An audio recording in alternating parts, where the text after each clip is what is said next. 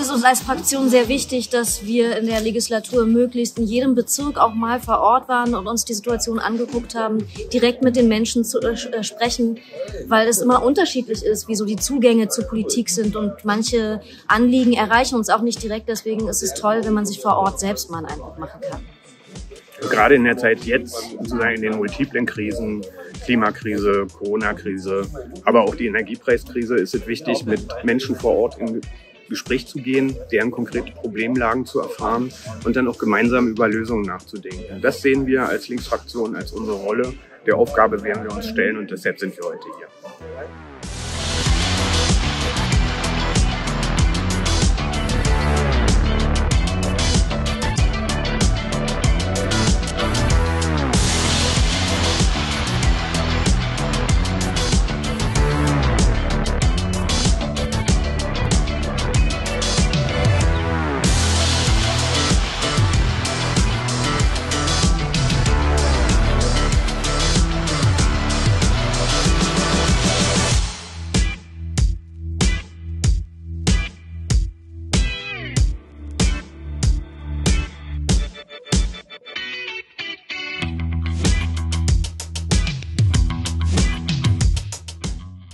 Bezahlen Orden, ein spannender Kiez im Umbrauch, da wo viele Menschen leben, die in sozial schwierigen Lebenslagen sind, aber gleichzeitig eine ganze Menge tolle Kolleginnen und Kollegen in sozialen Einrichtungen sind, die sich ganz herzlich darum kümmern, dass hier die Nachbarschaft zusammenbleibt. Und dafür sagen wir heute auch einfach mal Danke.